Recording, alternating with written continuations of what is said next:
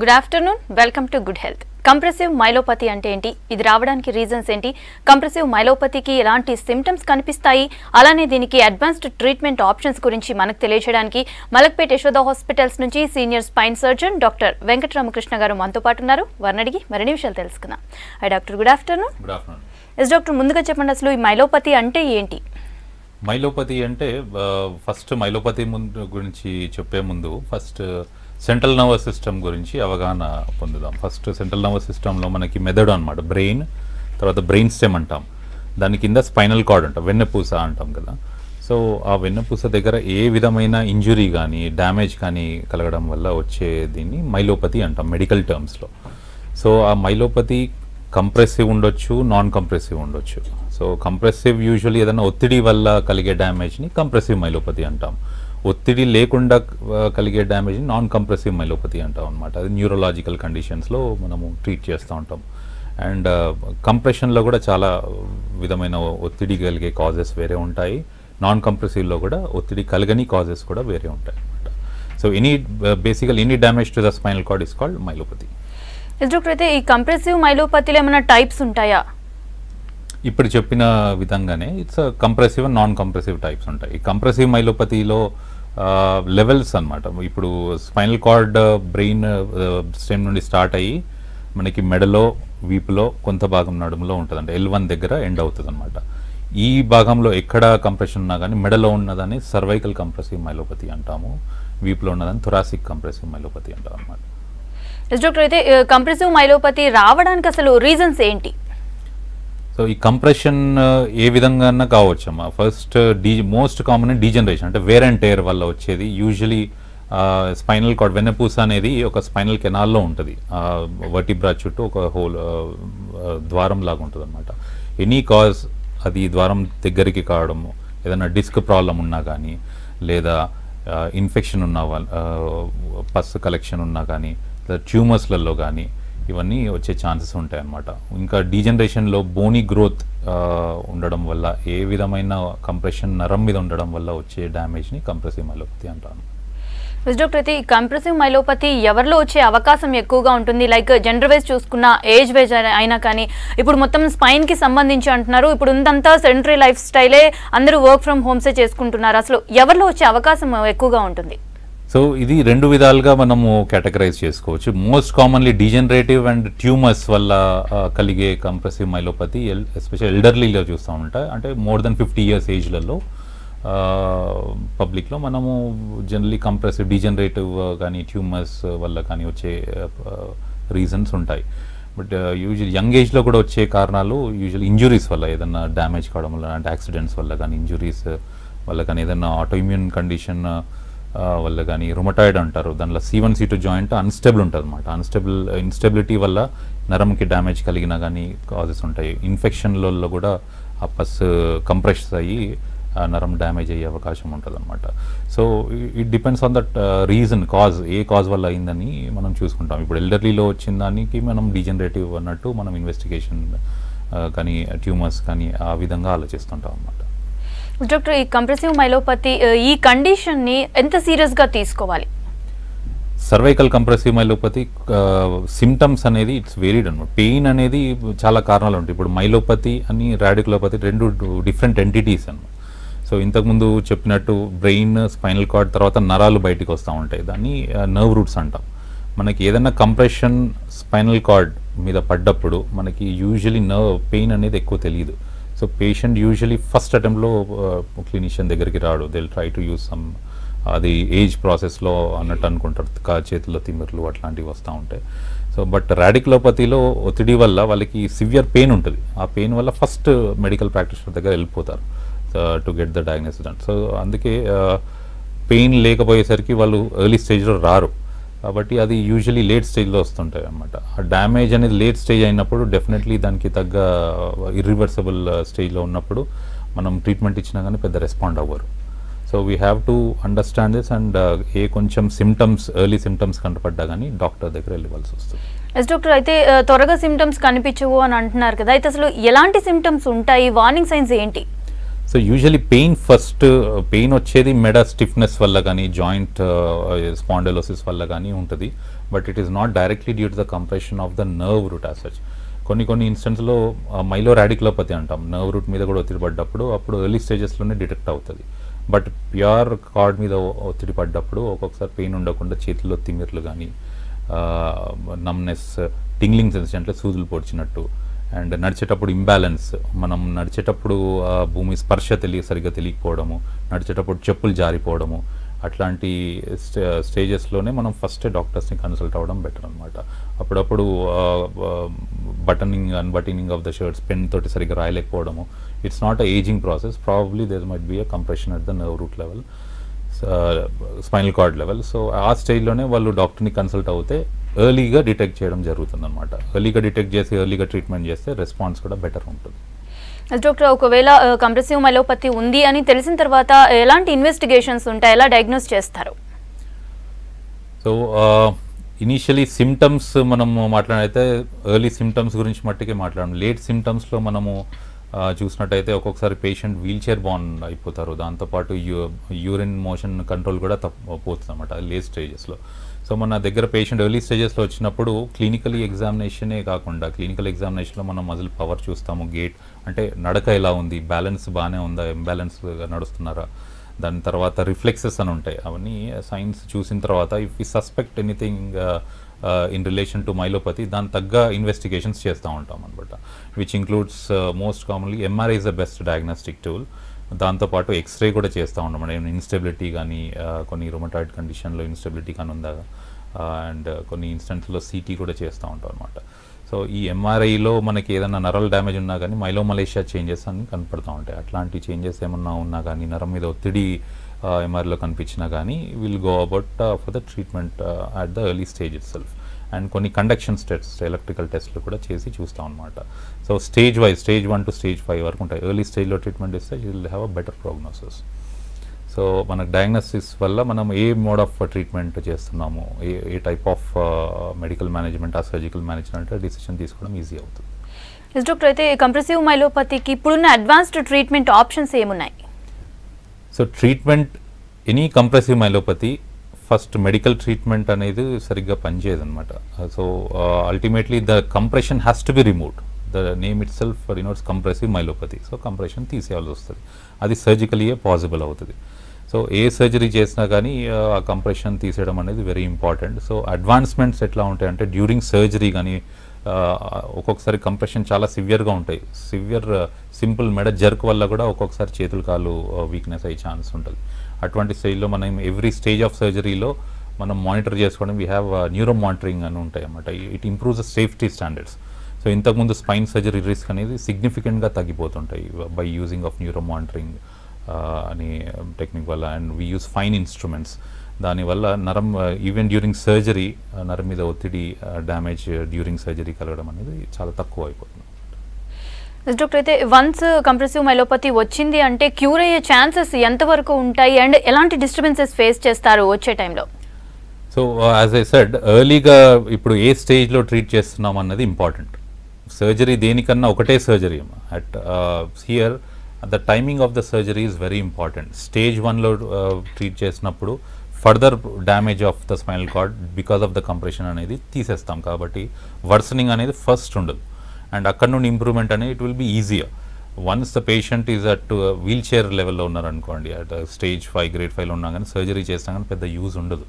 So even stage వన్లో వచ్చినా కానీ స్టేజ్ ఫైవ్లో వచ్చినా కానీ surgery is the same but the improvement we see much better at when the patient comes at the early stage yes doctor after surgery patient ఎలాంటి జాగ్రత్తలు తీసుకోవాలి? Like life స్టైల్లో ఎలాంటి uh, ఎలా ఎలా మెయింటైన్ చేయాలి అసలు లైఫ్ స్టైల్ని సర్జరీ అనేది now that it has become very safe because of the advancement and technology and technical improvement advancements వల్ల.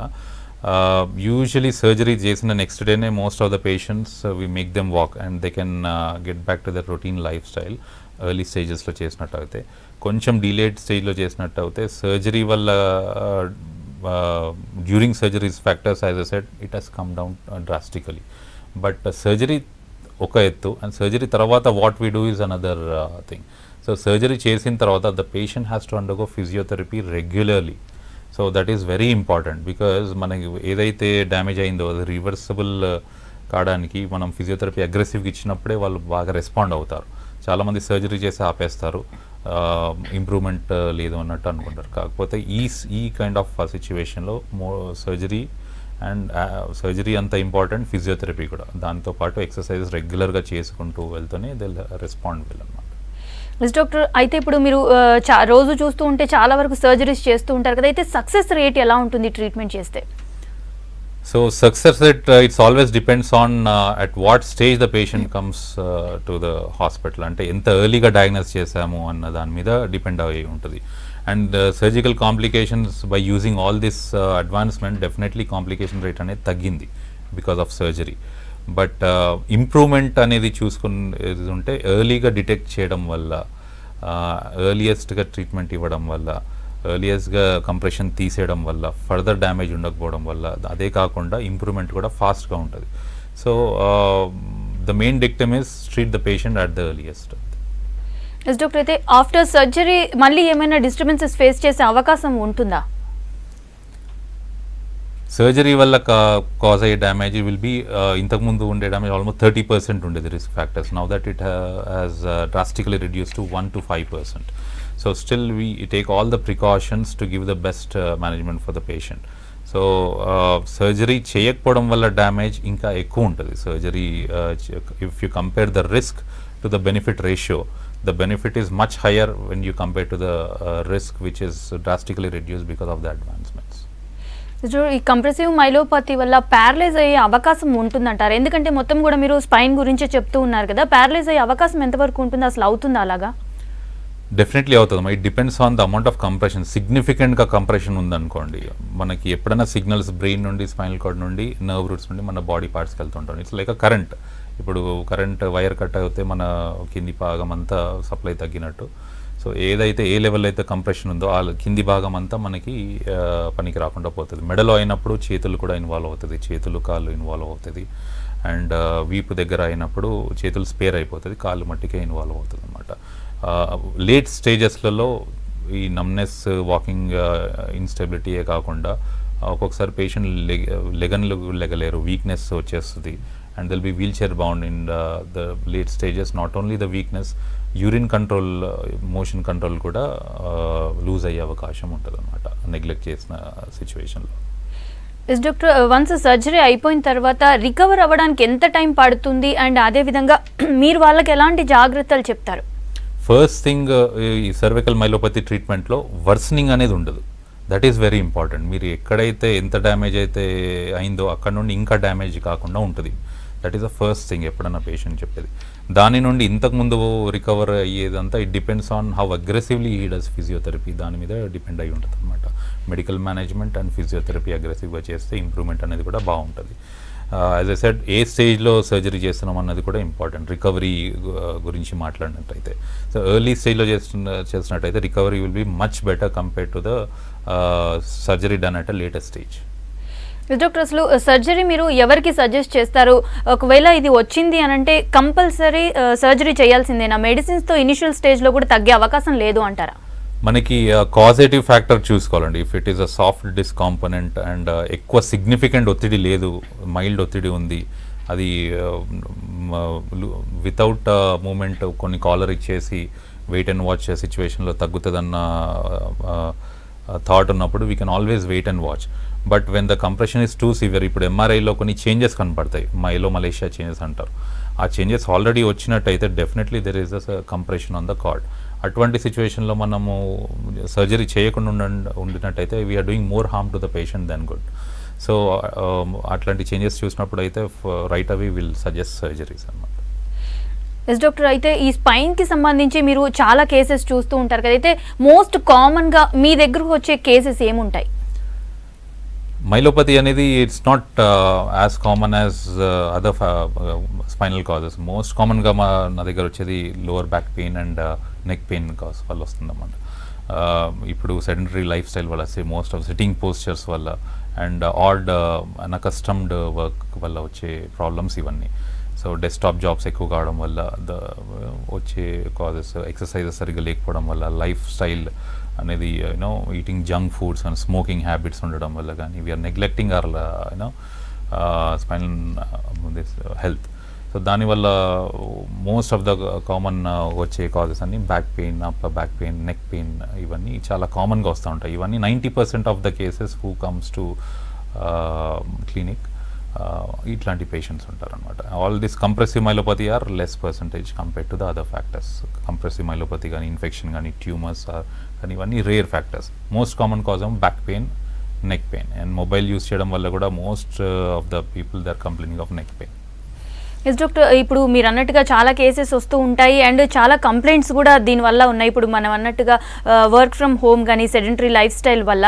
అయితే ఇలా వచ్చిన స్పైన్ ప్రాబ్లం వన్స్ ఒకసారి వచ్చింది అని అంటే క్యూర్ అవ్వడానికి ఎంత టైం పడుతుంది అని అసలు క్యూర్ అవుతుందా టోటల్గా డెఫినెట్లీ మీరు పోస్చర్ అనేది కరెక్ట్ చేసుకొని ఎర్గనామిక్స్ అంటాం the way you set and the way you work if you change and prevent the reason for you know the బ్యా యువర్ బ్యాక్ పెయిన్ డెఫినెట్లీ అది రాకుండా ఉంటుంది. ఇప్పుడు కూర్చునే పోస్చర్ సరిగ్గా ఉండడం వల్ల ninety degrees posture six point contact అంటాం అనమాట స్ట్రైట్గా కూర్చోవడం is very important your ears has to be at the level of your shoulder ఇట్లా ఫ్రంట్ స్టూప్ అవ్వకుండా you have to straight always straight in front of the desktop and ఒకవేళ desktop పని చేశారనుకోండి the vision has to be directly you know the system has to be directly at the level of your vision so అట్లాంటి posture ఉండడం చాలా important ఇప్పుడు నేను మీ స్టూడియోలోనే చూసినట్టయితే చాలామంది working in front of the desktop the way they are sitting for hours together is no long టర్మ్లో డెఫినెట్లీ వాళ్ళకి ప్రాబ్లం వస్తుంది. So I can see many people they will be our potent patients of the back pain so ఆ posture అనేది improve చేసుకోవడం first important దాని తర్వాత some exercises body mass index అనమాట. Body అనేది ఫిట్గా ఉంచడం is also very important frequent breaks లేసి అట్లా ఒక ఎవ్రీ వన్ అవర్కి అట్లా ఫైవ్ మినిట్స్ నడిచి మళ్ళీ వచ్చి కూర్చోవడం is important and exercises maintaining your body mass index ఎంత హైట్కి అంత వెయిట్ ఉండాలి. And exercises these are all you know helps in preventing all the damages cost your spine yes doctor ఈ కంప్రెసివ్ మైలోపతి అనేది హెరిడిటరీ వంశపారంపర్యంగా ఏమన్నా వస్తుందా ఇది? కంప్రెసివ్ మైలోపతి అని.